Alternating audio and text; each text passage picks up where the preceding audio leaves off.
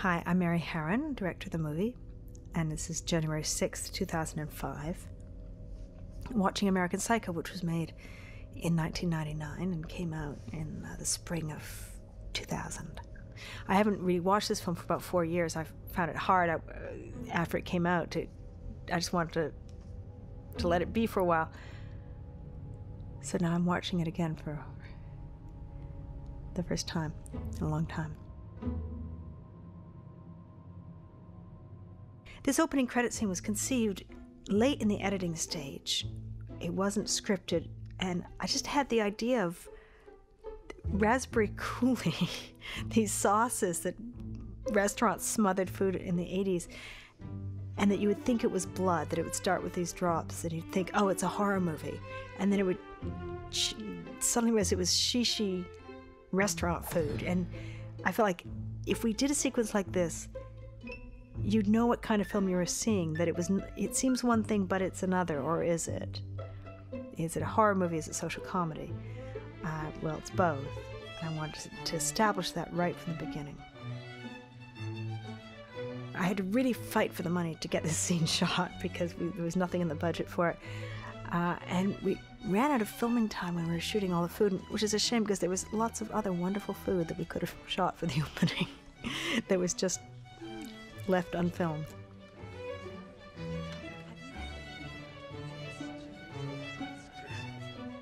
All the descriptions of food come from from the book American Psycho.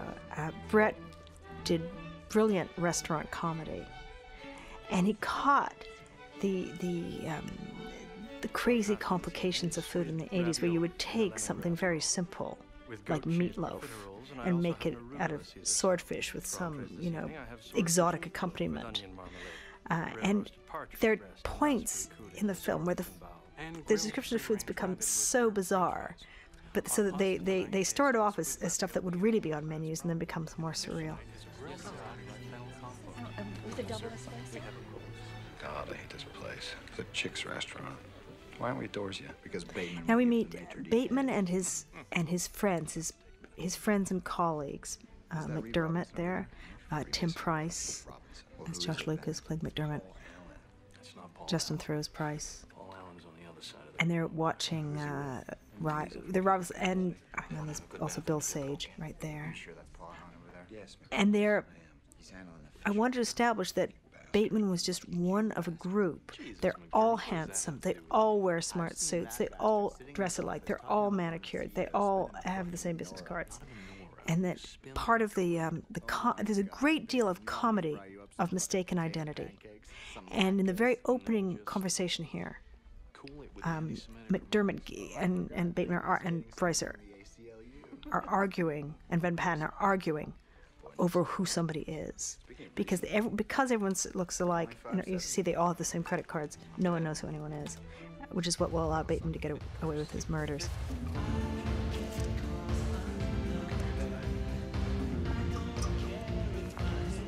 A lot of uh, drag queens in here, which is such a big 80s and 90s feature of New York nightlife. And they're doing Charlie's Angels because that was the thing. There were all these like theatrical things in um, you know, the tunnel or other 80s things where there'd be these fabulous performances. Now, I love also if you look at the ba- the wonderful bad dancing that Justin Theroux and Bill Sage are doing. They're doing Wall Street guys trying to be hip and doing this really awkward, painful dancing with blonde girls. Uh, famous Toronto punk there. Oh, that's my sister, Kelly. Kelly Harron. She's now forgiven me for making her do this part. And this is where we also get the Bateman mask slipping where she as the character turns away and she can't hear him as he's making bloody threats against her. play around with your blood. So th- this is the first clue for anyone who didn't know this, the story that there's something wrong here with this character. Now the film starts, which is in the pristine white Bateman apartment Produ- our production designer, Gideon Ponte, created this perfect white 80s box, polished wood floors, you know, sort of antiseptic yet beautiful. And the sound design has, allows no traffic. There's hardly anything from the outside. I want it to be like a hermetically sealed box. White bathroom, white, white apartment, black marble bathroom, uh, and everything looking like a, a photograph out of Architectural Digest or somewhere. Nothing, no personal details. This reflection in the um, Les Miserables was, just happened. That was serendipity. Later there'll be something um, scary in the fridge. I wanted the kitchen to be stainless steel like a morgue. And uh, that's all I said. And then they created this fantastic thing, which is also very reflective. That's a trans light representing New York City behind it, because this is actually shot in a studio in Toronto. This is the body that Christian created out of his skinny English form through months of incredibly obsessive exercise and working out and diet. A lot of the uh, girls on the set came and watched the monitor while we were shooting this. A little gathering.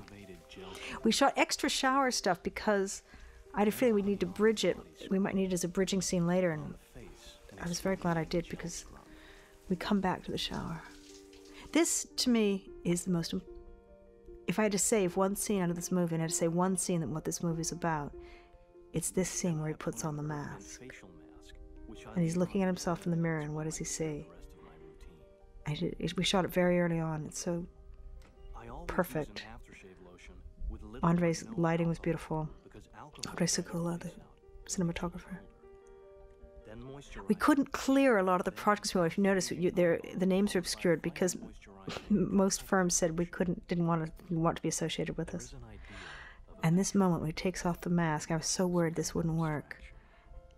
It's our first take, and he pulls it off, and it's like, oh no, it's just going to come off in pieces. He pulls it off. And it's perfect. All in one.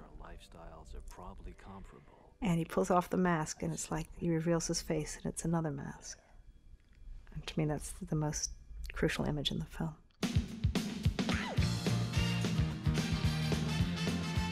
It's a great song here, Walking on Sunshine. And Andy Marcus, a wonderful film editor, who's so important to this film, uh, said to me at one point, you know, the happier the songs are, the better they work. And it's true, like the more happy, upbeat, just bright, bright pop music for Bateman, and somehow it works. Uh, this again is a studio uh, created by Gideon. All the everybody looks alike. You'll see lots of extras. All everybody. This is Chloe Sevigny, who is one of the most remarkably natural actors in the world. I think she is so real and so fresh, and in this very highly stylized film, she's so beautiful and real and simple and natural and it makes the film bearable in some ways, I think, because otherwise it's a very, it's a hard world. And she's so moving here. She's got such a crush on her boss, and you can see, and she's trying not to show it, and he's kind of tormenting her and teasing her, and she's so longing for signs of signs of affection or attention from him, and he's. But she's trying to keep her dignity too. That she, Chloe packed a great deal into this first scene. What? I didn't hear you. Andre, very good with the uh, the shadows and the Venetian blinds. It's also another classic '80s motif that we used in the design. Thanks, Patrick. I'm not here. And high heels. I like high heels. When the door closes and Jean has left, Bateman's left alone, and like the panic uh, sets in because we never see him do any work. Well, some critics objected to that, as you know, how could you, you know, misrepresent the world of Wall Street like this? But it's not meant to be a literal representation of Wall Street. Of course, investment bankers, and brokers work very hard, but this isn't a realistic portrayal of office life. We wanted to stress Bateman's complete disconnection from the world around him, and so when he's left alone and the mask drops, there's nothing there. He doesn't know what to do. He has no role. And you know, his uh, Reese Witherspoon's character makes a reference to the fact that his father practically owns the company. So there is that rationale in the book. In the book, he doesn't do anything either. You think that somehow it is a, a pretend job as as much of a performance as the rest of his life, and it's a facade, as his social life's a facade, and everything other his romantic life's a facade.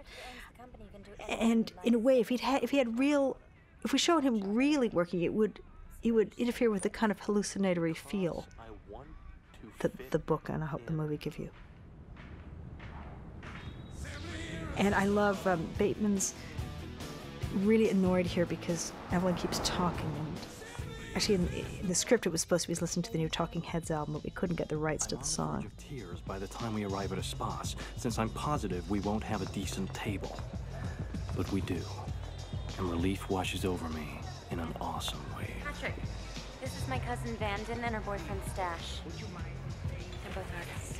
Mendes and Grail. I see you've met everyone. and it's it's this is based on a fantastic scene in the book, which actually takes place at Evelyn's apartment, where the guys come around and she has her cousin there who's dating a downtown artist, and the hatred and hostility and and, and suspicion between the downtown art people and the uh, Wall Street bankers is is very uh, cleverly played in the book.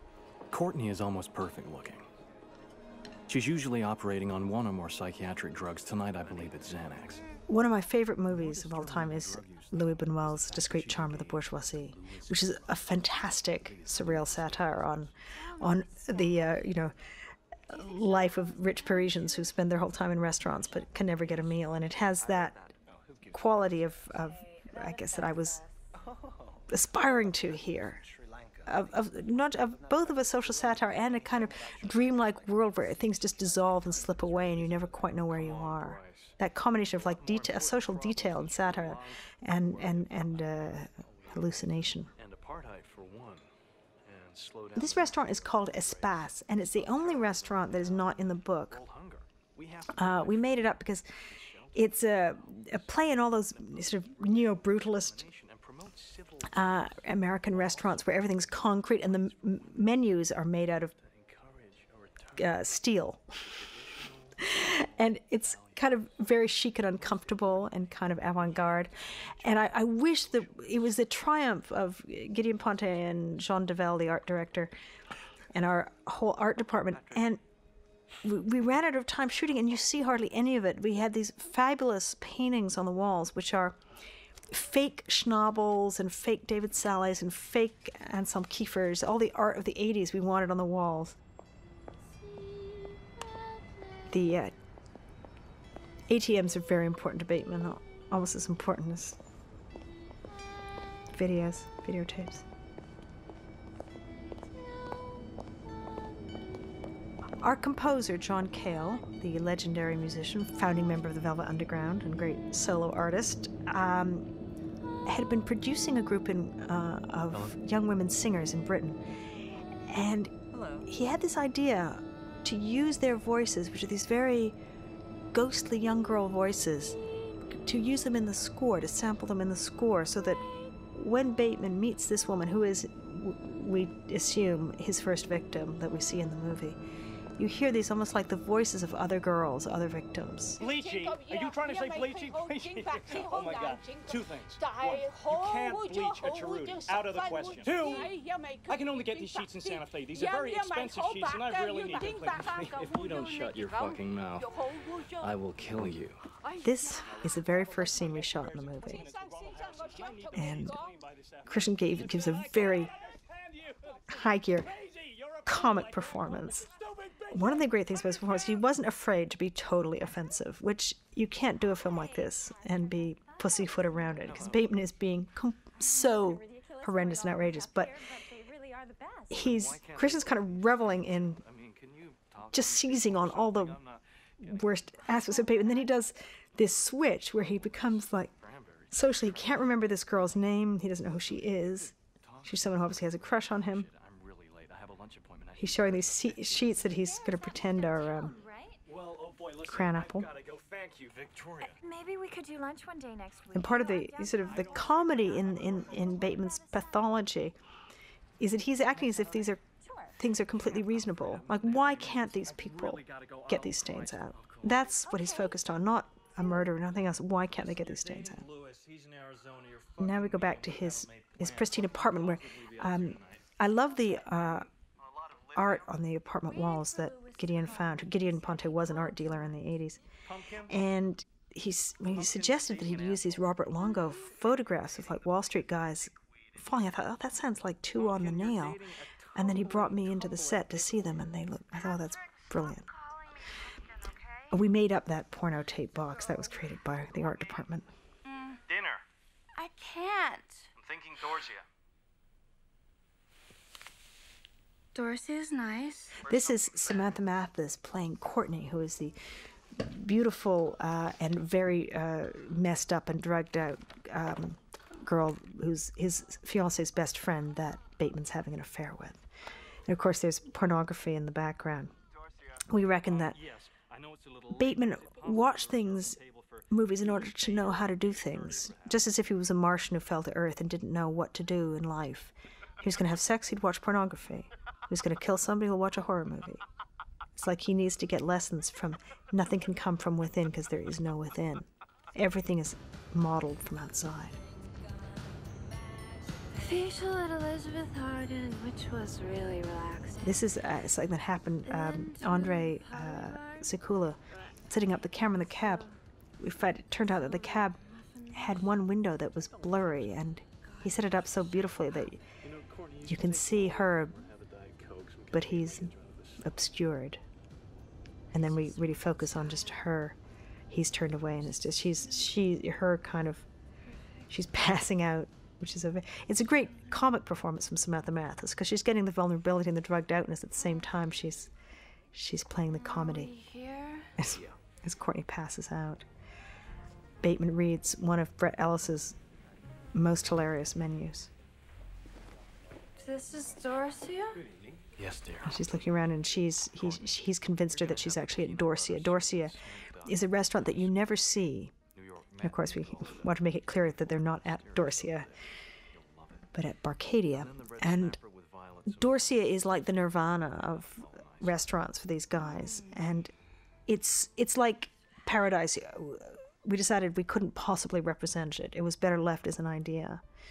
So we show all the other restaurants, and now he's got her so drugged out. She's so drugged out that he's able to convince her that she was at Dorsia. How on earth did you get a reservation there? Lucky, I guess. Matt Ross, That's a wonderful actor playing Lewis Carruthers. He is the um, the the sort of the butt of all the other guys' jokes because he's not the um, the macho ideal. He has a huge crush on Bateman, and he's trying to to compliment on his suit while Bateman ignores him. Hello, Halberstram. Nice tie. How the hell are you? Now we're going to be Jared Leto playing Paul Allen. In in the book, it's Paul Owen, but they made me change the name to Paul Allen, which I didn't choose because it was the Microsoft founder, but because I was just given a list of names that I was able to use. And I think Paul Allen was the first. And I later regretted it because everyone thought I'd used it because of Microsoft. It was just a mistake on my part. Not great. Oh, well, you know. So how's Cecilia? She's a great girl. Oh, yeah. I'm very lucky. Hey, Alan. Congratulations on See, all the extras, all the guys, good-looking guys, everyone looking alike, everyone in nice suits. It was very important to create this bed of of Call me. of young men who all look alike. Um, I think uh, Justin's very and uh, Josh are all very funny in this. Great. Jared Leto, who's even better looking than Christian, um, playing his his nemesis, his uh, the man who drives him to more more Is that a gram? Flurries of anxiety than anyone else because What do you think? Paul Allen is supposed to be more successful, better looking, just everything that From Bateman the printers yesterday. feels insecure about. That's bone. And the lettering is something called Silian Rail. This scene was a triumph for the sound designers, uh, Ben Chia and Paul Urmson, who used um, a number of effects, but one of them was uh, a sword being whipped out of a sheath to create that whoosh as the uh, guys whip the business cards out of their holders. So it's all, you know, the sound design is as, as if it's martial arts. This is uh, the. Re- I love the guys' reactions when they see the splendor of Paul Allen's business card. They're almost unable to to cope with it. And then when he mentions that he's been to Dorsia, it's it's a sort of there's an there's a sort of rutting stag competition going on, but there's also a kind of a sort of teenage girls in the bathroom quality to all these, where they're kind of showing off their their stuff. Look at that subtle off-white coloring. He's holding up Paul Allen's business card, which again looks exactly like all the others. It even has a Except that that font is the one that we use in the titles. That's our alpha male font. They're in a break uh, in shooting. The other guys came to me and said about Christian, he breaks into a sweat at the same point during every take. So after that, I started calling him Robo Actor.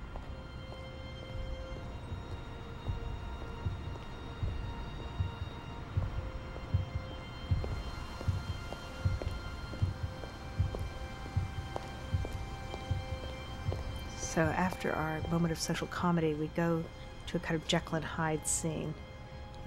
Lots of smoke machines. Uh, shot down here on Wall Street in New York. Um, and it is. This is like a classic horror movie, horror movie sequence.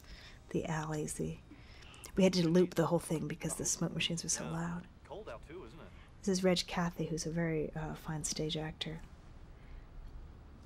And in this scene, Bateman um, spouts a lot of Reaganite slogans. This is taken very much from the book, where he's saying, you know, get a job, you know, um, Insider trading. sort of 80s, uh, Listen, what's your name?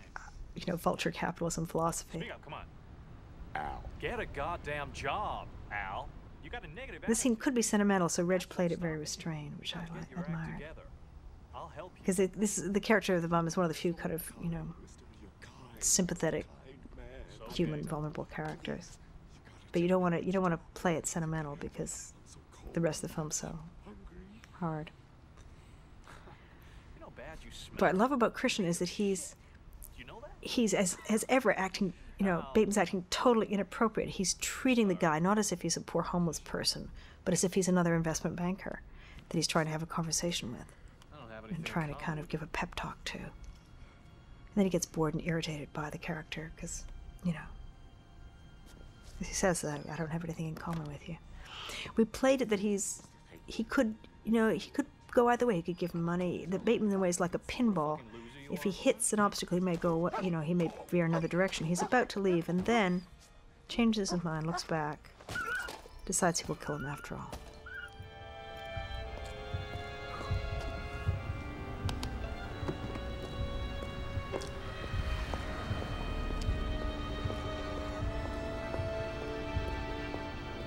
Again, this tries to echo the way the f- book goes from scenes of extreme violence into either social comedy or scenes of, of tranquility, and you just kind of never, never know where you are. And I wanted the film to have that really dislocating effect. So now we're in a very tranquil place. I have all the characteristics of a human being flesh, blood, skin. One of the difficulties of adapting a first person novel like this, in which the uh, narration is very important, Something horrible. was finding places to hear Bateman's inner voice. So the uh, the spa scenes, which have these very obsessive, you know, beautician moments, very beautifully framed by Andre Sekula, Mask of sanity. allowed us to put Bateman's, you know, the inner thoughts behind the mask-like face.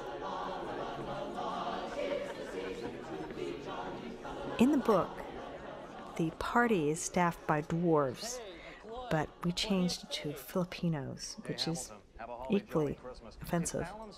Um, but it felt like what worked in a surreal way in the book would be too much on film. But we wanted to get the idea of wealthy, privileged people with their servants. Yes, you are. I've been here the entire time. You just didn't see me. Say hello to Snowball. Snowball says, I can't remember whether or not the Vietnamese potbelly pig is in the book whether we added it. But I know that when Gwen and I were researching, we went and watched old talk shows from the 80s, and in one of them, Belinda Carlisle was was on David Letterman talking about her Vietnamese pot-bellied pig, and we thought, what a great 80s pet. I feel like when I look at this, that we suffered from. This was a scene that suffered from time constraints and budget restraint constraints. I would have had. I would have wanted more time to shoot. I think we shot it on a day when we had two other scenes to shoot, so it was very rushed. Uh, but we needed it to set up Paul Allen, to set up Bateman inviting Paul Allen out to dinner. Patrick, why is calling you Mark? I also I also liked you know it's in the book it's a just a fantastic you know Christmas gala and uh, I would have wanted a little bit more money. For two at seven. No, I want to know. Okay, I came here for the cilantro crawfish gumbo, all right, which is, after all, the only excuse one can have for being in this restaurant, which is, by the way, almost completely empty. We wanted this restaurant to be a less chic restaurant because Double absolute martini. Bateman's deliberately invited Paul Allen somewhere where he knows he's, they're not going to run into anyone else.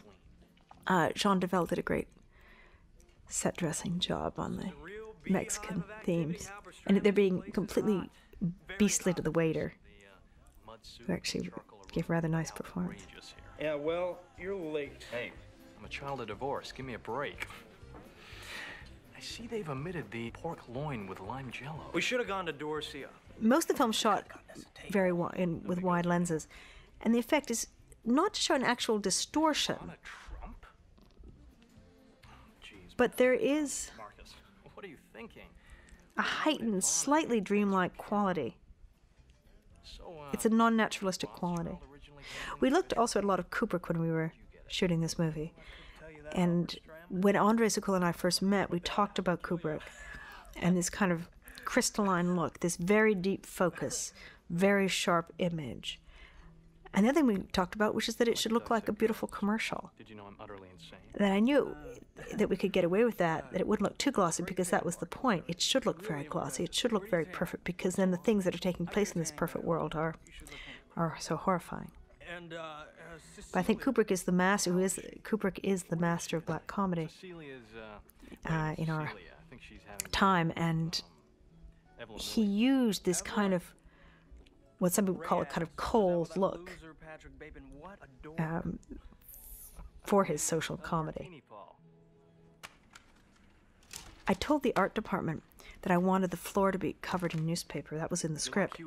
And when we turned up on set, they'd done this fantastic, fetishistic, you know, obsessive compulsive uh, newspaper coverage, like, like almost like express Bateman's madness. I think that really came into their own. I made Andre light this very, very bright. Even though most of the lighting in, in Bateman's apartment and other scenes is much moodier. But I wanted almost like theater, like all the house lights are on, and I felt they would make it just feel crazier. And it's like a performance from Bateman. And in fact, he's dancing.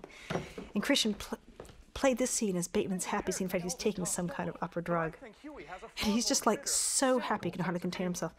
Um, and E.C. Mussenden, the costume designer, found this wonderful, very strange and sinister see through raincoat for Bateman to wear, because after all, he wouldn't want to get messed up. No, Helen. Is that a raincoat? Yes, it is. This is, I think, one of the scarier moments. The way Christian plays this, it's just pure exaltation. Bateman is so ecstatic. He's so excited about this murder. He's just, it's his happiest moment in the film. And when he started doing this dancing, which I hadn't actually expected, I was collapsing by the monitor with laughter. We um, put a plastic case over the camera so that he could sh- um, swing the axe directly in front of the camera. Not, I can't now remember what he's hacking into. But it was one of those moments of serendipity that when the blood splashed, it happened to splash just one side of his face. That was not intended. But when he sits down, it's like a perfect metaphor. His face is covered with blood, and when he turns at this point, it's almost perfect. So it's that kind of schizophrenic look.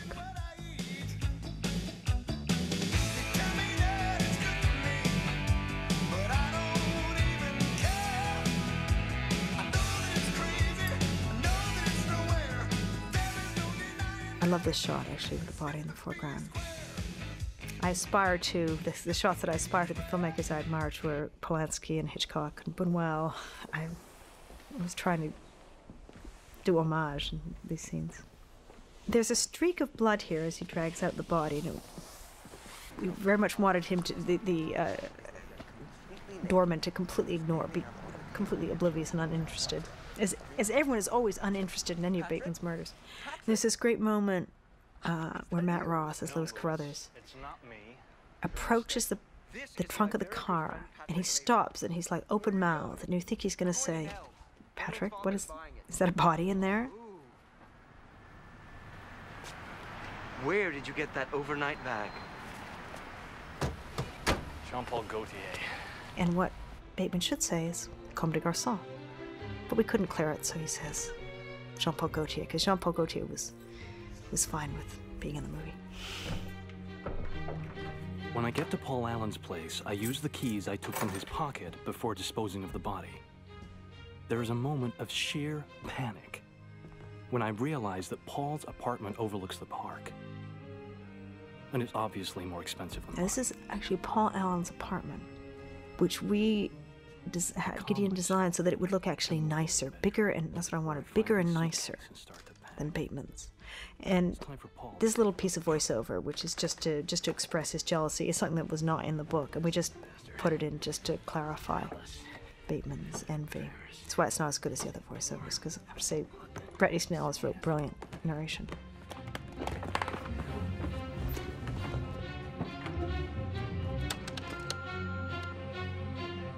Hi, this is Paul. So here, and I, I don't know if this was a, this was a confusing plot point, but Bateman is is packing Paul Allen's suitcase and leaving a message on his answering machine because he's going to pretend that Paul Allen has gone to Europe. It's a terrible imitation of Paul Allen, and it's also you know see this, this slightly klutzy, nervous quality that Bateman has. It's not at all smooth. He's in many ways m- most ways co- a very risible character. I think that few actors would have gone for that as bravely as Christian. But for Christian, most people would want to be cool. That, that was the problem with most of the actors who, who were interested in the role. Christian couldn't make it dorky enough. He loved the absurdity of it. Tell him I'm at lunch. Patrick, it's only 10:30. I think he knows you're here. Send him in, I guess. Now we're about to meet the character who isn't quite the nemesis, Now, John. but has elements of that, and that is the detective, Donald Kimball, played by Willem Dafoe. And when I rehearsed these scenes with Willem, I asked him to play them three different ways, so he'd do at least three different takes of each scene. I asked him to play it one way as if he knew that Bateman had committed the crimes. Another take as if he didn't know that Bateman had committed the crimes. The other one as if he wasn't sure. And then in editing the, the dialogue, I would be able to choose different emphases. No, I'm sorry. I should. Willem is a very riveting presence in this, and he said at some point something very true, which is, you know, the less I do, the more disconcerting it is, and it's true. Like the more, the more calm he is, the more nervous Bateman gets. I'm Donald Kimball. No, also the absolutely pristine, Nice to meet you. uh, obsessive compulsive desk How busy you guys can get. and office space that Bateman has. Bateman will get very, very nervous if anything's Topic out of of place. I've been hired by Bateman's been just listening to his Walkman in the office instead of working. He shoves that into a drawer guiltily so the detective won't know. Paul's disappearance, yeah. So it's nothing that official. I just have some basic questions about Paul Allen, about yourself. Coffee? Mm, No, I'm okay. Paulinars? No, I'm okay. And the layers of anxiety, Mr. Sort of bravado, the mask, bottle of No, Apollinaris. really, I'm okay. It's no problem. i- in Christian's performance, and then the ambiguity of Willem's performance, I think mesh really well. Paul Allen. Right. Well, I um haven't I haven't heard anything about the disappearance or anything. Not on page Red suspenders, of course, the iconic Family wants this kept quiet. Wall Street. Lime. Red suspenders, uh, pin, pinstripe shirts, and Just some preliminary questions. red or yellow ties, blue, red, or yellow ties. How old are you? In the book, Kimball Where did you go to school? is the same age as Bateman. And in fact, again, went to Harvard and, and is another kind of doppelganger. Nice, very nice. Thanks. What can you tell So me? it could have gone that way, but then when the chance came to cast Willem, he seemed to bring such so much to it and such an undercurrent of menace and tension that the film needed that I felt it- that was more important than than the doppelganger. We had a lot of doppelgangers already. I felt in the film, so that was just a change of emphasis. I'm not being cross-examined here. There's also there's, there's a lot of references to um, No, not really. Where did Paul hang out? um, Hang out. Yeah, you know hang Bateman says that uh, The Newport. Bateman here says that Paul Allen's a closet homosexual, even though there's no indication of it. Cornell Club, the New York in the film, but there's that there's these guys and Bateman in particular's obsession with homosexuality. Don't you know this? I just wanted to know if you know. Before Yale, if I remember correctly, St. Paul's. Listen, I just, I just want to help. I understand. At script level, everyone who read the script said, many witnesses or "You- Well, these, these scenes of the detective, they go on for pages. They're like, this one scene is 10 pages long. You know, you're going to have to cut these, take them out. They're so long. And I said, I'm not taking them out. But I've had a hard time. I, w- I want to shoot everything, and then I'll cut it down. Because I knew that once we got a rhythm, that you couldn't tell what was interesting and what was work, that, that what seemed in a way banal on the page, if you had the right actors, would become so tense and enthralling. And even though I, yes, I did edit them down, but kept much more of it than I think anyone would have would have thought I could have, because the words are sort of innocuous, but the silences and the tension between them is so riveting. If you get great actors, you know the scenes mean much more. So I was glad that I fought to, to shoot everything, and in fact, production was getting very upset with me because uh, Willem asked if we could shoot everything, not interrupt. So we, we would shoot like ten minute rolls to cut for the conversation. I shot a huge amount of film, but I never reg- I never regret overshooting film. You know, it's the one thing I think you should spend a lot on You'll have to because all the choices and all the ambiguities, you know, it allowed to re- us to really fine tune the scene to swing it one way or the other because we had we had so much coverage. Aren't you going to be late? No, there's one down here. I think here we have the famous um, Cliff Huxtable line Listen, that he's going to meet Cliff Huxtable for lunch. You any information, at all, Absolutely, I'm 100% with you. great. And thanks for your time, Mr. Bateman. Bye-bye. Goodbye.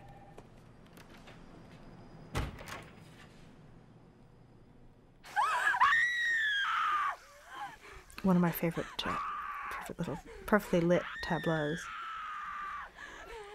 with the sound of Texas Chainsaw Massacre.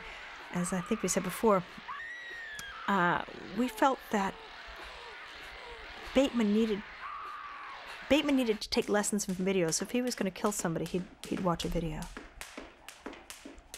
I particularly, I laughed so much when we did this, and Christian started skipping because he had this way of just going for the absurdities of Bateman's machismo and that sort of girlishness that he, suddenly this big strapping guy skipping.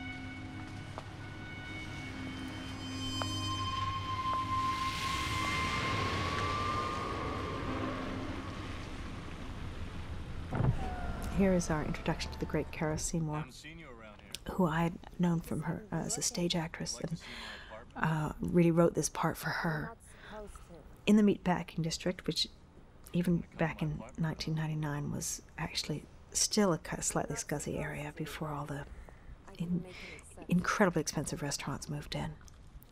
It was our last chance to shoot that area as it had been in the 80s. And I love this perspective from inside the car. And the kind of satanic bargain that she makes as she takes the money.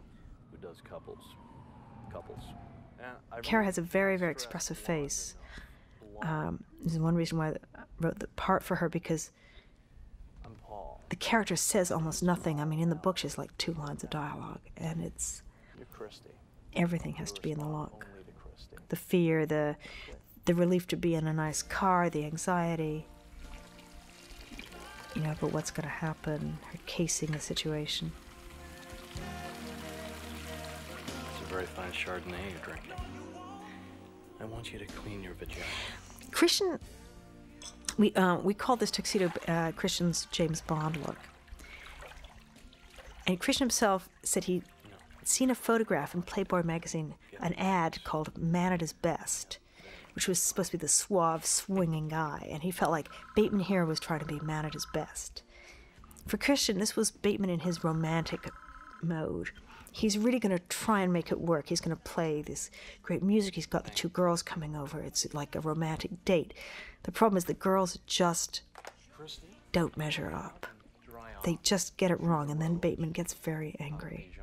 But he wants it all to be perfect. Come and meet me and our guest. best in the living room for drinks. there's a kind of the way he talk. This is the dialogue from the book, which is the, the way he talks, the way he kind of orders Christy the prostitute about. It's very revealing.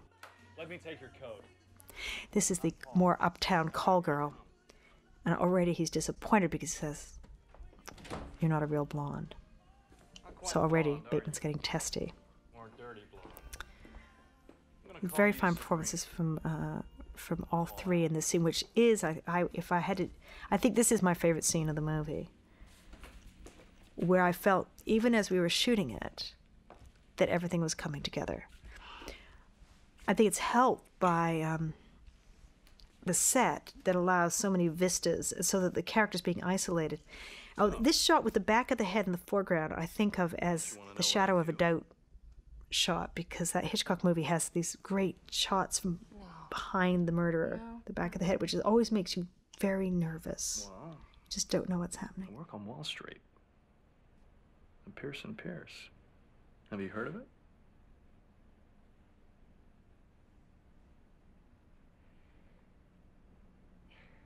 I think the silences in the scene and the the disconnect between Bateman trying to impress the girls, the girls' silences, their their their politeness as they try and please the client, their wariness and watchfulness within this kind of pristine, anxiety-inducing room. Truffle? Uh, I think all work very well, and it, I and I think the the tableaus and the compositions are among the best that Andre did.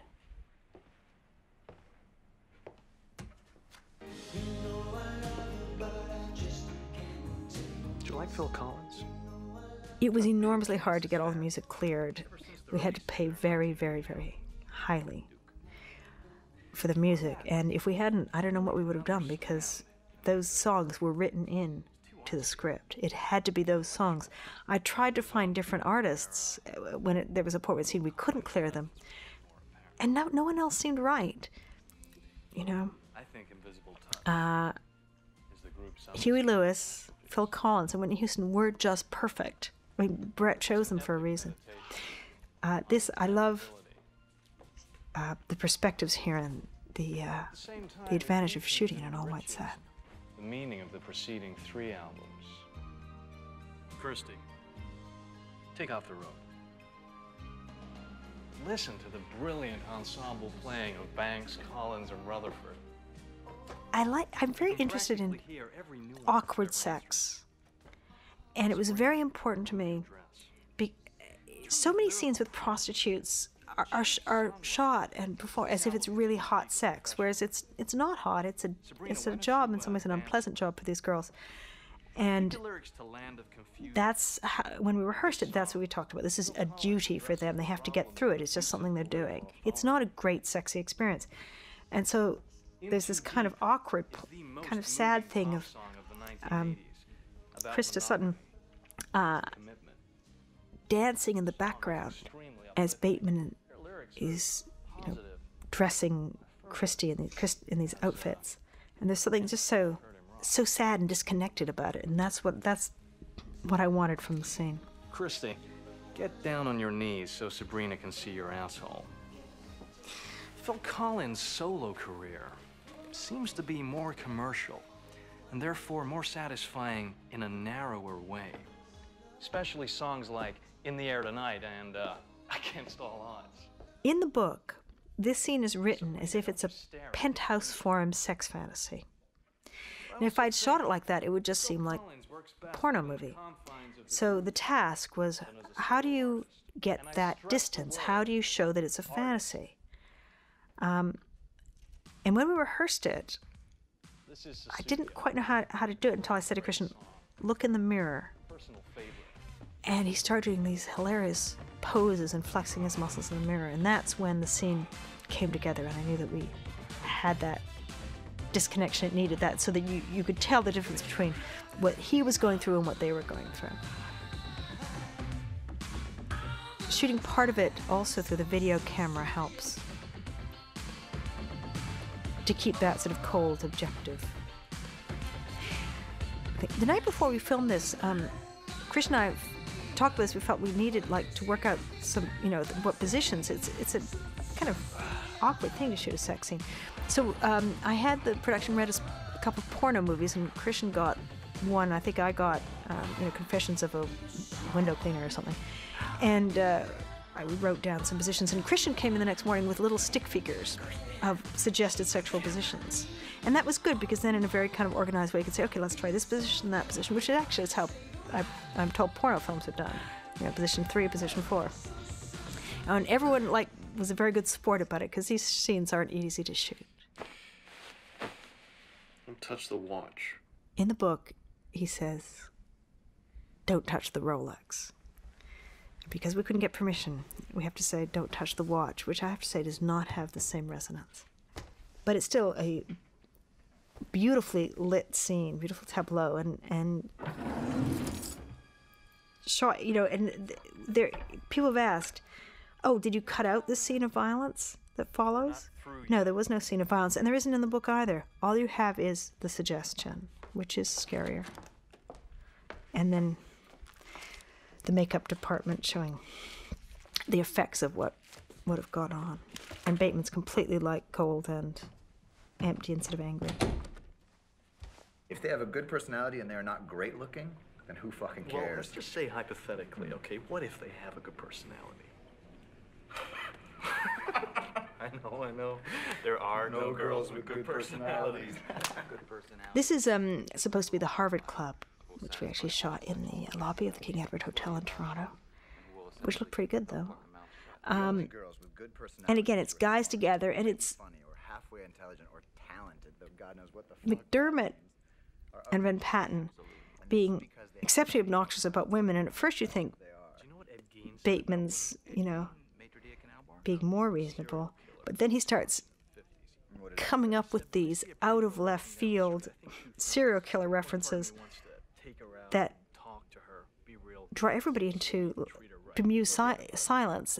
It shows that even McDermott and Van Patten don't know how to take this, which is one of those important moments where you see, yeah, they may be obnoxious, but they're not psycho. I want to get your opinion on something. And Bateman is crazy. And there, there is, there is that line between just regular human obnoxious behavior and insanity. Oh, very nice, Louis. And Louis Carruthers seems to be sealing his death warrant by pulling out a business card that makes everybody, their reactions here are just so, they're so mortified by the beauty of this business card. Listen, what about dinner? Is that all you ever have to contribute, Van Patten? What about fucking dinner? Cheer up there, Bateman. What's the matter? No shiatsu this morning? Touching me like that and draw back a stump. Hold on there, little buddy. Excuse me. Again, Bateman Bateman completely lashing out and enraged in his because he's driven to a frenzy by the business card. Driven, in fact, to a murderous rage. Which both makes sense within Bateman's character and it's Bret's satire on the insane lengths that people care about tiny divisions of status. One of the great turnarounds in the film. Why here? I've seen you. Where Louis Carruthers thinks that Bateman's making a pass at him and, and kisses his wrist tenderly. And the way we played it, as you can see, Christian plays so well. Bateman is so paralyzed with horror at this come on that he's incapable he, he's incapable of of further action and just starts compulsively washing his gloves. Where are you going? This scene is, I think, taken part and parcel from the book. Which is why I never understood why people didn't see that the book was funny. Because there are moments of like crazy high comedy. and as, as Christian rushes out, he, there was a point where he he runs over a waiter and like shakes his hand and says, Good job.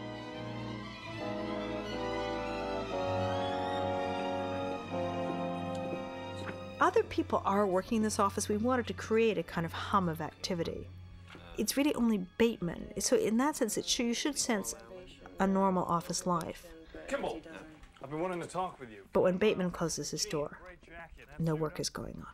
Do you remember where you were the night of Paul's disappearance, which was on the 20th of December? God. I guess I was probably returning videotapes. This is the second interview with the detective. I had a date with a girl named Veronica. We somewhat rearranged the detective scenes from the novel to to give it who disappears earlier in the novel than he does in the film to give it a bit more of a conventional structure even though when the detective appears you think it's going to have some kind of thriller narrative of discovery and but it doesn't pan out that way. It's it, the detective line of the narrative just kind of slips and slides away just as everything else does. Because if if you kept it going in a more then it would just have been a traditional thriller. And it didn't seem to me that was what the book was about. On the other hand the detective is a very important agent of of bateman's paranoia and to some extent he's it's uncertain how real he is. Is he because he so much embodies bateman's anxieties. It's like is he real is he not? Huey Lewis and the News. and and this this is the kind of most abuse case 'cause suddenly he brings out Huey Lewis and the News, the the band that uh, Bateman played to Paul Allen while he murdered him. No, I like music. And Willem is playing this like completely deadpan and innocent, as if don't you like it? As Bateman goes more and more crazy, says, I, I don't like singers. So Willem is playing this completely like innocent, but because it's Willem, there's a little undercurrent that you just. He's one of those actors where the, he he just like embodies that ambiguity. You just never quite know. There's always an undercurrent. You know, there's a lot of resonance in what he does. This is a, another loveless sex scene, or rather, loveless on Bateman's part, where um, Samantha's having kind of Marilyn Monroe kind of vulnerability here, where it's kind of sad. She and, and this also comes from the book where she she tries to reach out to him a little, and he's like, "Why are you trying to talk to me?" What are you doing tonight? Dinner at a River Cafe. Au Bar afterwards, maybe. That's nice. Never knew you smoked. You never noticed. Listen, Patrick, can we talk? One of the things I liked about this is it. You look. It goes in a kind of real emotion. And she's about to try and talk and try and say something, and then she just decides to not not to, and just Patrick, ends with a kind of like little social. Yes, Courtney. I I think in the book it's have a good Christmas, if I don't see you before Easter, have a nice one, okay? but we had to make it Easter because we just had Christmas at the party. You too. This is the last time we see Courtney. I'm careful with shooting in mirrors because it can seem so stagey, but I feel like in this case, it worked so well, and mirrors are Nothing. such so, so crucial to the story. We had the um, Toronto drag queens do a show for us, just in, in keep with all those nightclub fashion shows of, of the 80s. There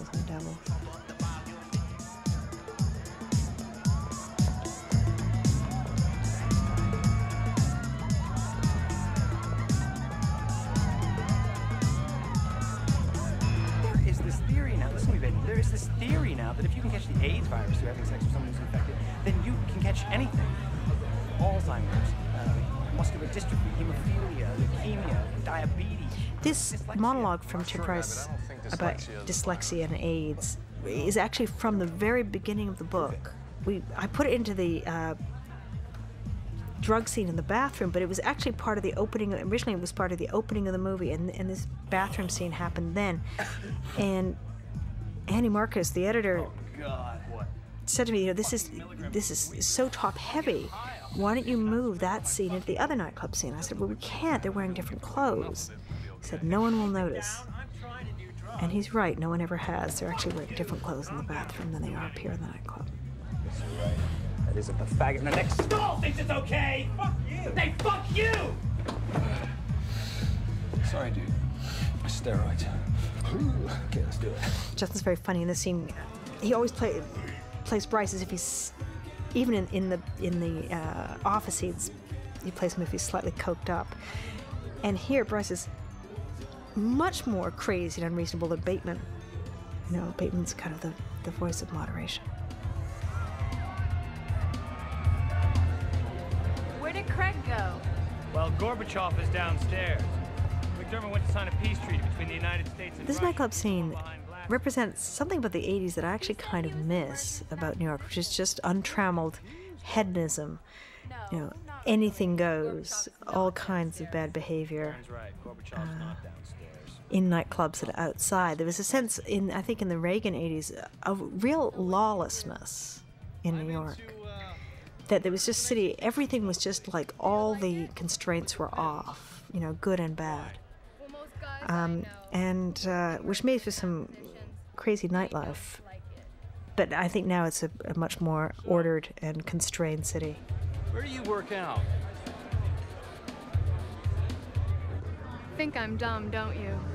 We're trying to capture uh, the feeling of those nightclubs that were on like the the, f- the far side of town, the far west end, like Tunnel, where there was just like this kind of bleak cityscape.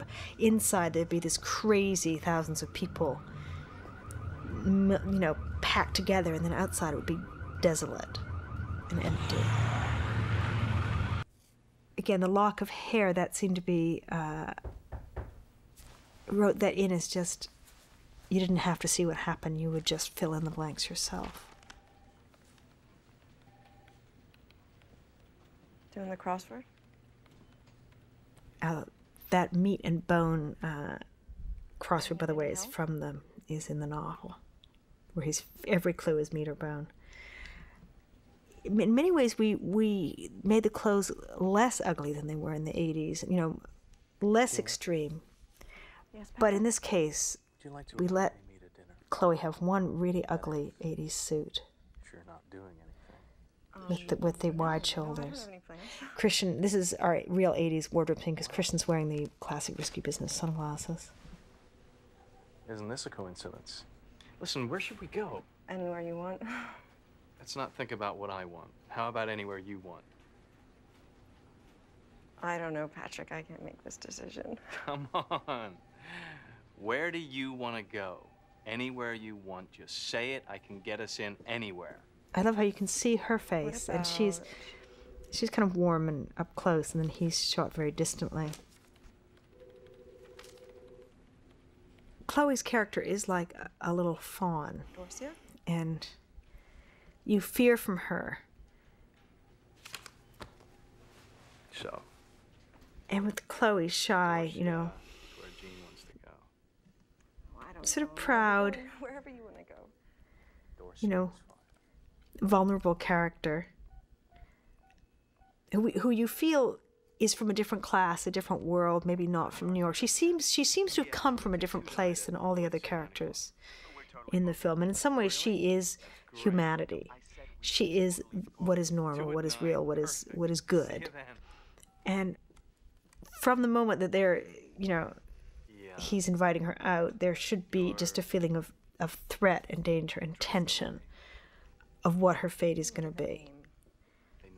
Especially as she's blonde, which is most of the victims are. For drinks. And Jean? You'll want to change before we go out.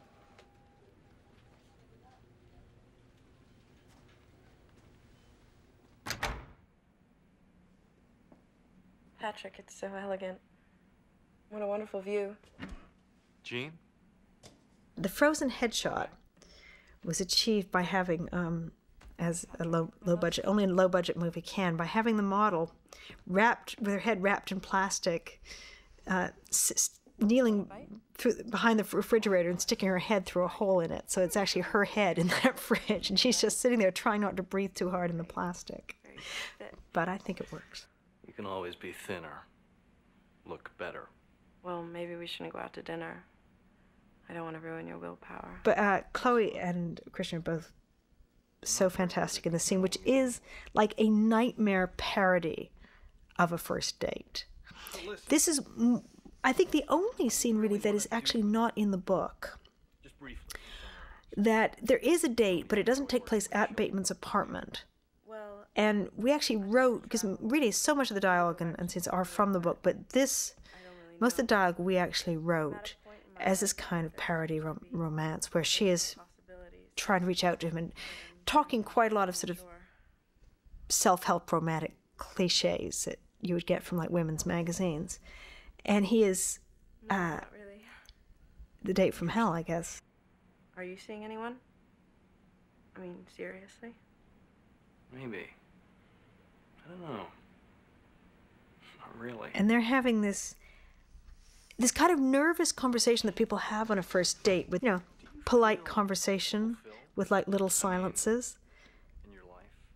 Except that For a long time, he's think, you know the audience knows that he's thinking about how or when or if to kill her or choosing a weapon. growing. and and she's kind of earnestly trying to trying to reach out. Did you know that uh, Ted Bundy's first dog, a collie, was named Lassie? Had you heard this? Who's Ted Bundy? Forget it. What's that? Duct tape. I need it for uh, taping something. some of the dialogue however is taken from other scenes in the book Patrick? actually there's a scene between Bateman and a young model where the where he's talking about No, oh he almost you know that he's almost going to kill her because she almost put the spoon down on the table. Jean? Uh, pulls himself back together. There's a scene with a young model where she- he's saying um, he starts talking about Ted Bundy and the model doesn't know who Ted Bundy is. Um, one of my favorite sequences here with the shot with the great Cindy Sherman Relationship with artwork, and I was felt honored to be able to include that great artwork and this scene of violence all in one image. You had the layers of of I know you're there. Cindy Bateman and and uh, Jean. What are you up to tonight? It's me. Don't try to hide. Now, in this scene, you should feel all the way through the sense of threat, um, and it's it's choreographed. You know, as he's circling around her, she's static. He's circling. The camera's moving around, so you're always aware of him in relation to her. You know, as he as he checks his weaponry, as he moves moves around, as he moves behind her, and the telephone ringing. Uh, we felt saved her that it, Bateman's like a pinball shooting off in another direction. You know, that he it, there's no real uh, logic to it. It's just that it, if he hits an obstacle, like a phone, like the phone suddenly ring, it'll just spin him off in another direction, and the momentum's lost. So he's just lost the the the the, th- the thrill of killing her. He's run out of steam on it. Do you want me to go? In a, in a way, there's no more emotional logic to it than that, except that in their conversation at the end, when he tells her to go, there is some weird glimmer of humanity, but it's sort of like a, a flicker. I mean, do you want me to go? I think if you stay. Poor Chloe. She was so upset after this scene because she said, I only gave her one take for her close up because we were running out of time. We had, as ever, we were really under the gun for shooting.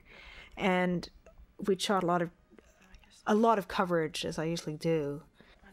And we did, did done, done her other covers. then we had her close up and we gave her one take. And, and she felt so wounded by this, but it's like, but you were perfect. But it was perfect. And it was. I mean, I couldn't have wanted anything more. I felt she totally nailed it. Don't forget you have a lunch date tomorrow with Donald Kimball at Smith and Wollensky's. thanks. Slipped my mind completely. And at the end, then sadly, they she Jean reverts back to being his secretary. She reminds him of his appointments.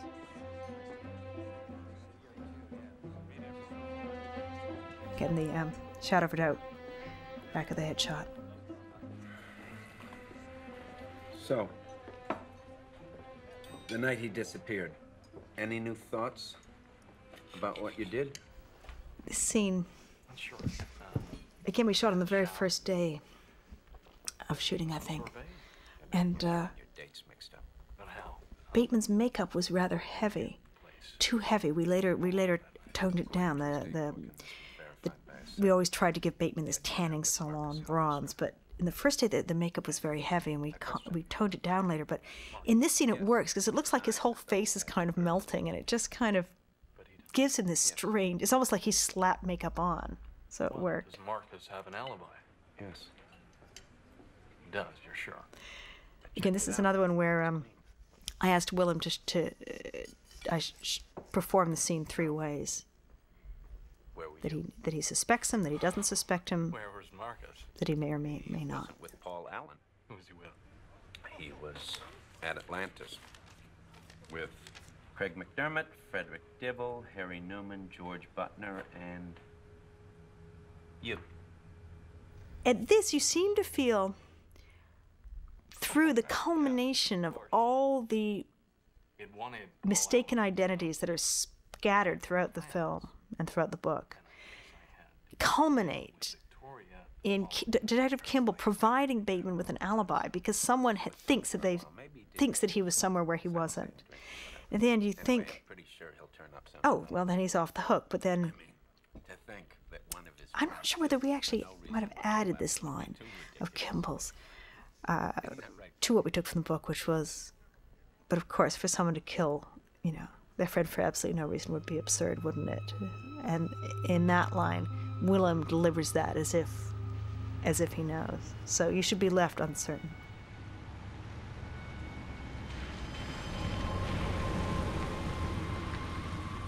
Even seeing this scene now upsets me.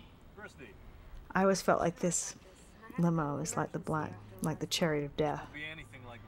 It's carrying her across the river. think so. And it's the hardest film. Well, this was the last night we shot.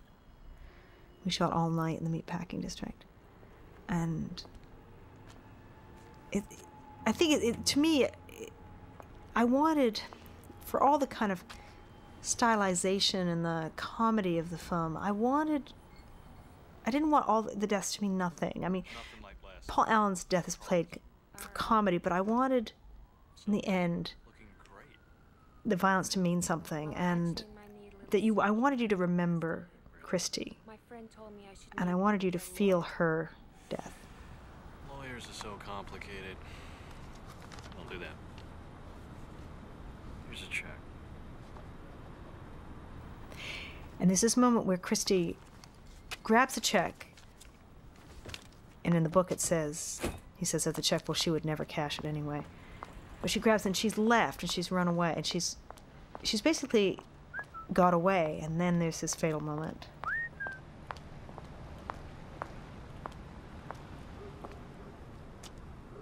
And to me, it's still upsetting, it, even now, to look at this and to know what's going to, and and shooting this whole sequence, this scene and the scenes that follow, were were very intense. I dreaded doing them all the way through the shoot. They came at the end, so we built up towards them. Uh-uh. Half now, half later. We then shot this whole uh, sequence in the car with what's known as poor man's process, where you just you know, can't afford a rig, so you just shine lights back and forth and shake the car. I feel it's worth it because I think you're the only thing you're really looking at is is Cara's face. We ju- actually just went out and shot some exteriors. We didn't have an apartment. There just happened to be a window lit in that apartment building, which we were pretending was Bateman's. We were very, very lucky because we just needed an exterior to pretend that it was Patrick Bateman's to match with the sets that we shot in Toronto. Party there from Malcolm Forbes. Oh my God, please. This is nicer than your other apartment. Oh, it's not that nice.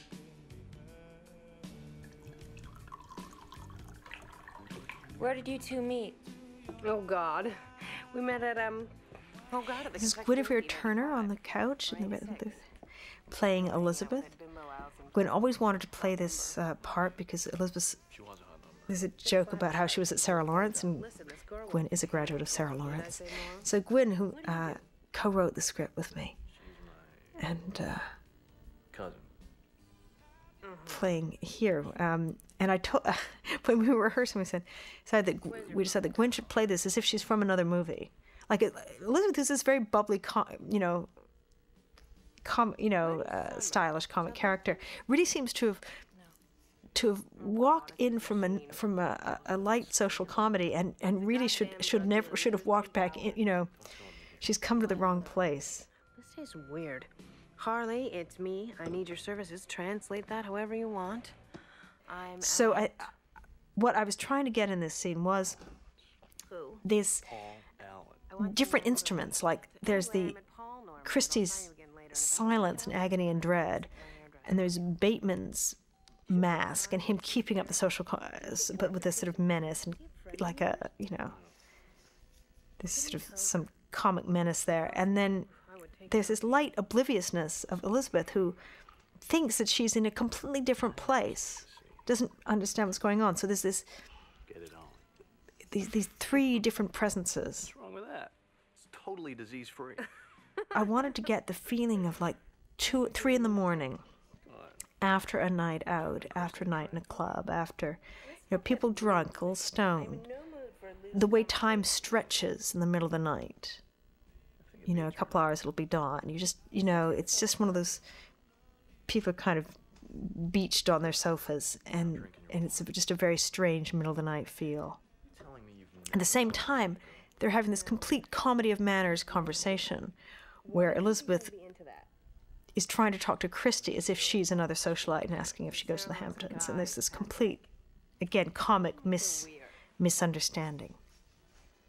And it's kind of really because Gwen's so bubbly and, you know, funny in this in this scene, and then it, it, it kind of takes the edge, but then the sort of dread comes. Called simply Whitney Houston. Had four number one singles on it. Christian uh, decided that his Whitney Houston monologue would represent Bateman's rom- um, spiritual side. You own a Whitney Houston CD. And I w- knew that we would never get permission to use the Whitney Houston song, and I was resigned to not using the music at all. When our music supervisor said, no, but she, she, there's a version from the London Philharmonic that's just an instrumental. So this is the, the I think the I think it, it's anyway it's the orchestral version of the greatest love of all, which in a way works better because you, as he's talking about the song and the music comes in, you don't at, it, it builds. At first, you don't even realize that that's that it the song is playing, and then it reaches its its crescendo as Bateman lectures us on on beauty and, and spirituality. Well, Elizabeth, who's laughing at him for having Whitney Houston records, has just signed her own death warrant. An important message. So you don't make fun of Bateman's record collection. Crucial, really. Christian and I talked a lot about what these music monologues meant. In the book, there's just chapters in which Bateman talks in a very sincere um, and enthusiastic way about his favorite music, all of which turns out to be extremely bland, very popular music of the um, mid to late 80s. And then within that, Christian broke down the song monologues into different moods. Uh, so Huey Lewis was happiness. Bateman at his at his you know relax, most relaxed and happy. Um, uh, Phil Collins was romance, as ba- the music that Bateman plays to the two prostitutes, and with Whitney Houston, Bateman finds spirituality.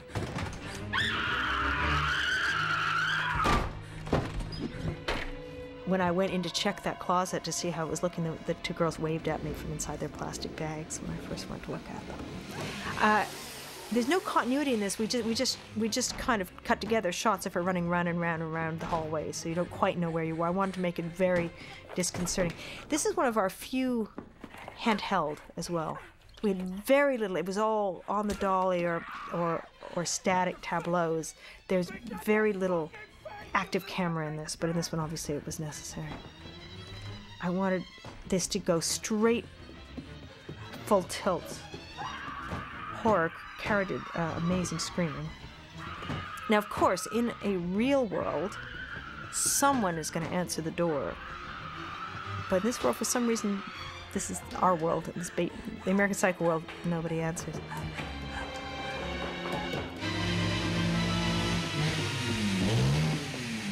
Christian, we decided that I just I wanted that to reverse and have, whereas usually in horror movie the girl's naked and the man's clothed, I wanted her to be clothed and him to be naked. And Christian was um, was very good about this. In fact, he was hanging out in between takes by the monitor, ch- chatting with the crew, wearing nothing but a sock on his penis and socks and ridiculous running shoes.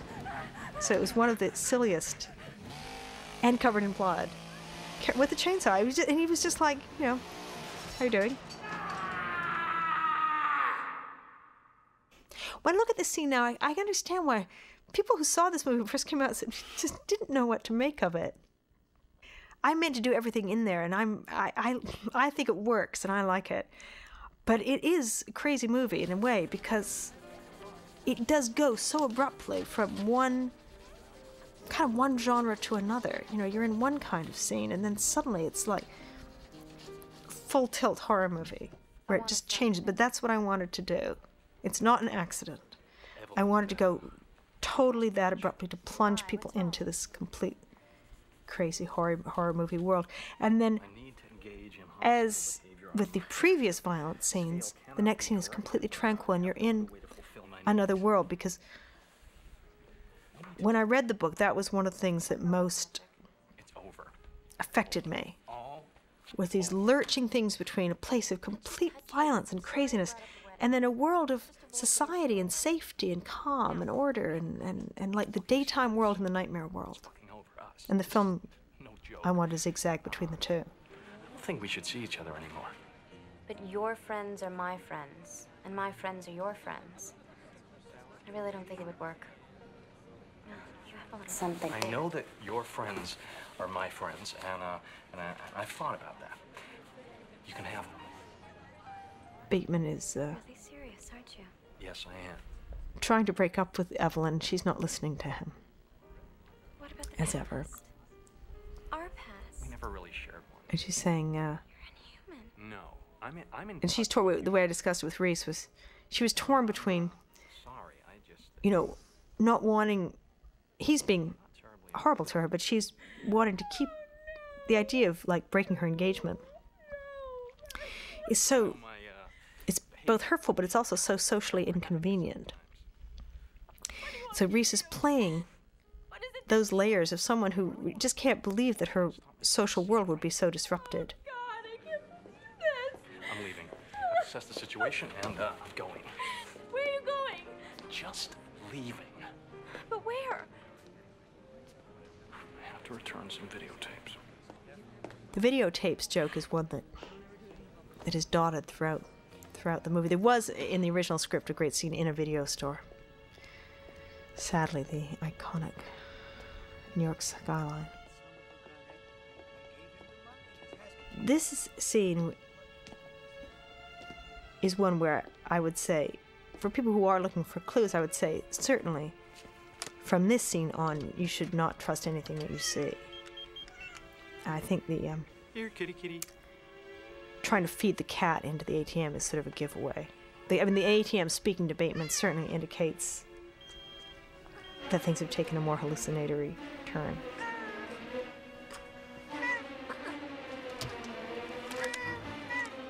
There's also that casualness about he might shoot the kitten, but instead he shoots her. This scene, now the following scene, was shot both in New York and Toronto. So Christian runs out of the bank, past these cars. Not all of this, not all of them work. He's setting off the car alarms, one of them actually doesn't. It doesn't work. uh, with, with this kind of simple. That's this one that doesn't work. Couldn't reshoot it. Uh, he's going to run down this street in New York and turn the corner into Toronto, where we did most of our shooting. So now he's in Toronto, and the cars stop. And in the book, this scene is like Die Hard. It's a completely crazy, over the top, violent fantasy. Here, we do something that's more realistic, but if you see here, this is completely like over the top, and, he, and even his reaction shows like, what just happened? Like, is this real? And we, it worked much better when we took all the sound out. So there's no real sound of the, of the explosion of the flames to keep it like dreamlike. And then, in one of my favorite uh, Christian gestures, Bateman checks his watch, something he does whenever he's nervous. Uh, Christian is running down a, the Toronto Dominion Plaza in Toronto, which has very fortunately two beautiful towers that look almost identical, which is very necessary for this sequence. This is the completely casualness of the first murder in here. Where he becomes almost like a clockwork object, just shooting automatically with no. Just why not? He just is an impulse. This is a process shot, an old fashioned process shot, where Andre blocked off the um, uh, lower part of the, the frame so that we could expose the windows of the skyscrapers and then unblocked it and then shot Bateman running across. This is so we could really get those lights very bright. This point, you're sure now that he's going to whip out, but it's just a pen. And Bateman now, I think, is now giddy with like panic and relief and fear. This is, I thought, this is one of the first things we showed. I thought, really beautiful uh, Andre's use of reflections here. The translights are almost too bright, but on the other hand, it gives, again, a more dreamlike look. We're faking the helicopters here just by um, spinning lights outside the studio window, these windows here in the studio. And this, I think, is Christian's finest moment in the film. Howard, it's Bateman, Patrick Bateman. You're my lawyer, so I think you should know I've killed a lot of people. Some escort girls in an apartment uptown. Uh, some homeless people, maybe five or ten. Um, an NYU girl I met in Central Park. I left her in a parking lot behind some donut shop. I killed Bethany, my old girlfriend. Gwen wrote this this monologue using a lot of the stuff we kept out of the movie. There were certain, you know, many many murders in the book, and we we decided which ones we were going to use. But then he lists the a number of the others that are actually some of the famous scenes in the book, and he just refers to them. I think he must have done 15 takes of this monologue of confession. This is one of the last ones, maybe take 14 or 15. It just got better and better as he as he was able to work himself up into this combination of panic, exhilaration of, of, of release, of confession. It basically built into more and more hysteria and collapse. And the more it built, the better it worked. So it became like he was sweating, it became a sense of complete collapse. This whole sequence, beginning with the, the kitten and the ATM, uh, the shootout in the streets, the murders of the murder of the uh, watchman, and the helicopters whirring through the buildings. This whole scene is, is, is like a mini 80s disaster movie or thriller where there's explosions and police and helicopters. It's like a movie within a movie. In a regular genre movie, the shootout and the confession would basically be the climax and the end of the movie. Over but it doesn't. This it doesn't end there because it's not a genre movie. It's not. It's not a, a narrative like that. So you think then that this should be the end of it. He's killed all these people. He's confessed. But instead, it goes somewhere completely different. So you know, keep your eyes open.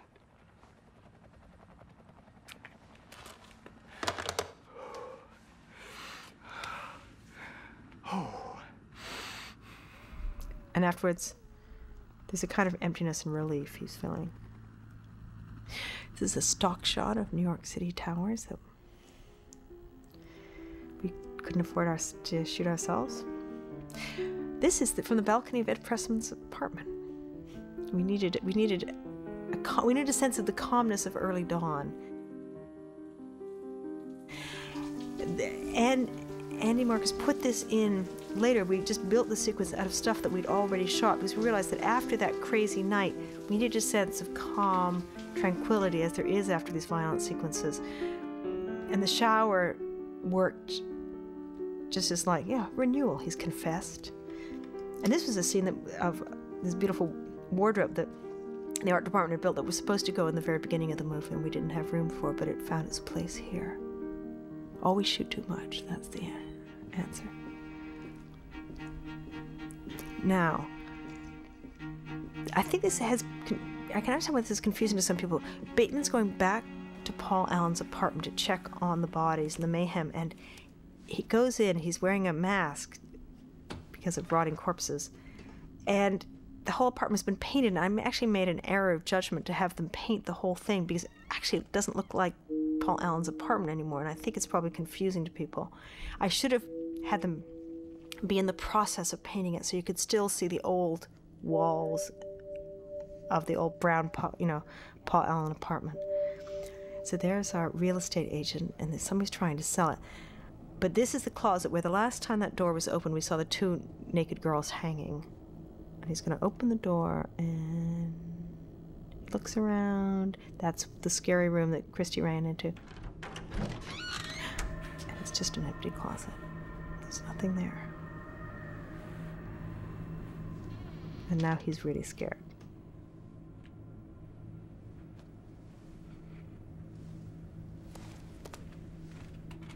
Are you my two o'clock?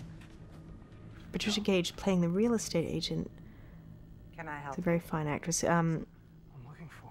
Asked me how, you know, at first said should she play it realistically? Should she play it as if she's scared of Bateman? You know, of this guy who suddenly just wandered in and seems to be behaving so strangely. And Saw the ad in the Times. I, didn't, I said no. You should just be yours. You should be the embodiment of his fears, of his paranoia. So she's like a sinister wall that he's come up against. And he is scared and she is immobile. So he is falling apart and she is the fixed point. I suggest you go.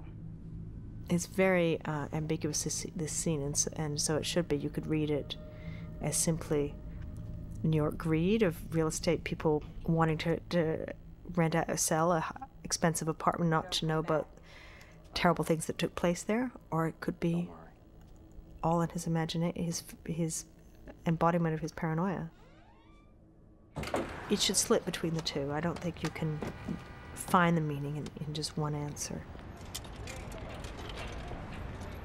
In one of the rare scenes where we actually are out in the real world, in daytime, it's much more you see the streets at night because the film creates a very uh, artificial world. It creates its own self contained world, but here we're shooting low angle, so we're not seeing a lot of the world. We're just seeing Bateman against the buildings and the sky, which is how you get away with it. You can't see too much of the real world in this film. It would just, it just breaks the spell, I think. Craig McDermott called. He wants to meet you, David Van Patten, and Tim Bryce at Harry's for drinks. God, what did you say, dumb bitch? Patrick, I can't hear you. What am I doing? Where are you, Patrick? What's wrong? We feel that, that Jean has become worried. I've Gwen and I really like Jean as a character. In the book, Jean actually ends up marrying Bateman. And in the book, she's sort of complicit. She knows that these things have, have gone on, but she ignores them or doesn't want to acknowledge them. And I guess because we like Jean, we felt like she shouldn't marry Bateman. That we imposed on the on the narrative. So we um, we had her end in more suspicion, fear, and confusion that she knows something's going on, but without proof. Christian does a great hysterical falling apart scene here.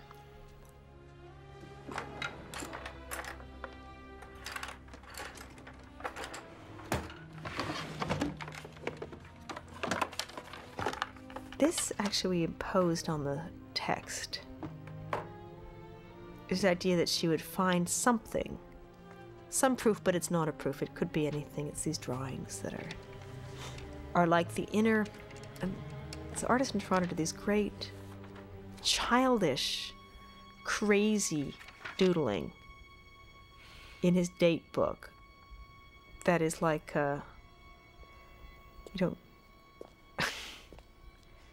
Christian is just so sort of pathetic and fallen apart, and he's so sure his whole world is collapsed because he doesn't, he no longer knows what is real. So he's in a complete, I think, panic.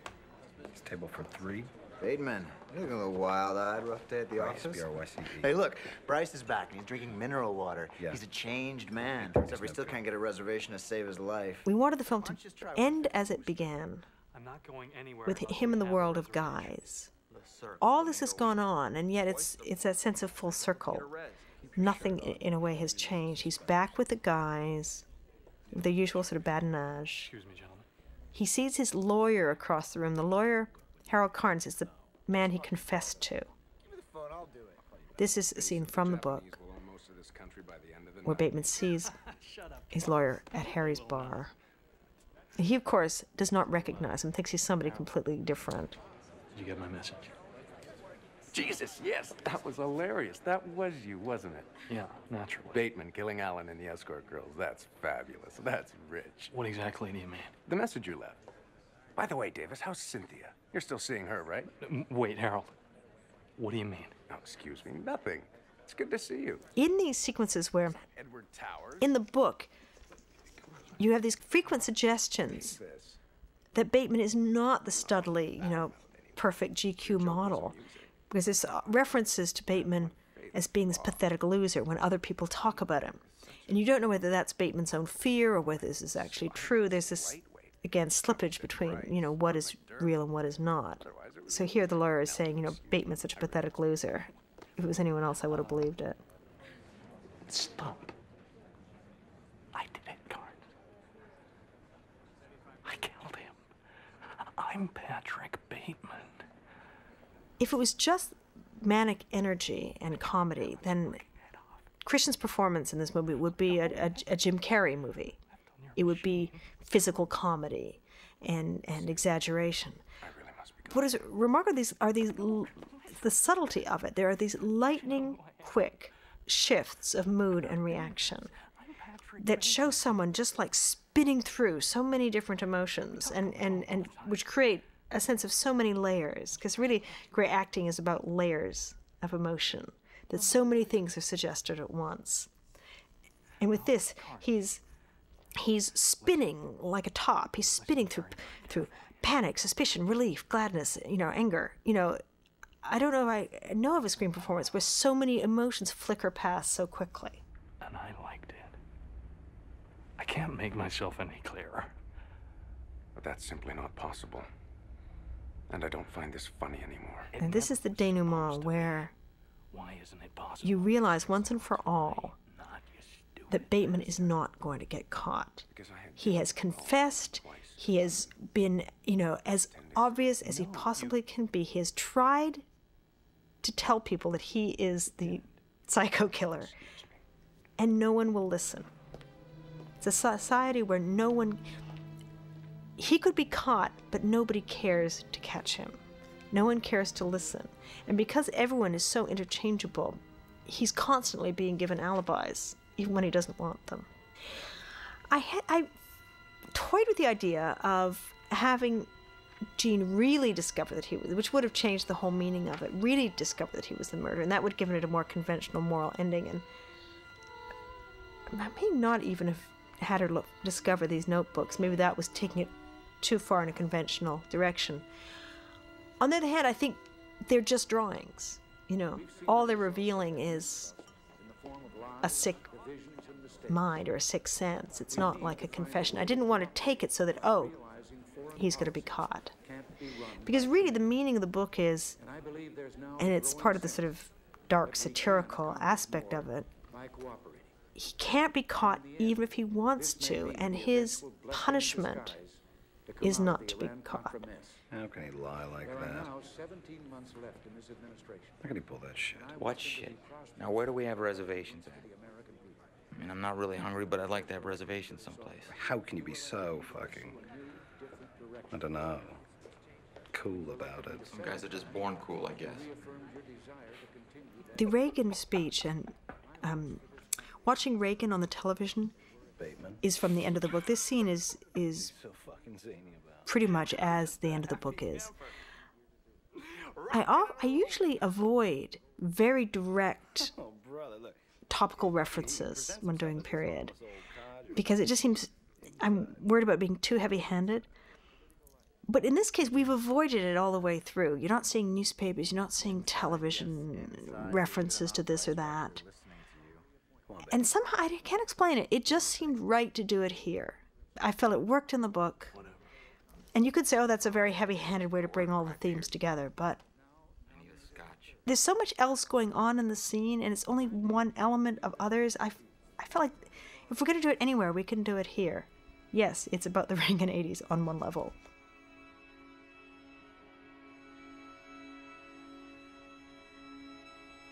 There are no more barriers to cross. All I have in common with the uncontrollable and the insane, the vicious and the evil, all the mayhem I have caused and my utter indifference toward it, I have now surpassed. My pain is constant and sharp, and I do not hope for a better world for anyone. In fact, I want my pain to be inflicted on others. I want no one to escape. But even after admitting this, there is no catharsis. My punishment continues to elude me, and I gain no deeper knowledge of myself. No new knowledge can be extracted from my telling. This confession has meant nothing. In a sense, I think that Christian's performance, and I hope that the slow tracking shot in on his face, as he says, you know, this, this is it. There is no way out. This is my life. Uh, the last line of the book is that there's a sign behind him. This is not an exit. And I actually wanted to do that and have that sign up, which when they brought me the sign on the day that we shot this, it was like, I said, but this is so small, you can't see it. And they said, well, if you're going to fit it on the door, that's how big it is. It's a bit like in Spinal Tap when they bring in the set and it's like six inches long. um, and then actually Gideon Ponte said to me, you know, I really am relieved that it's that small because, you know, it's it's a little too obvious. It's too like nail on the head for you to actually just show that sign. And I realized that he was right, and it was too it would be too heavy-handed. So in the end, you know, if you look hard, you can see this little sign, which is a reference for those who, who love the book. But I think the the larger meaning is just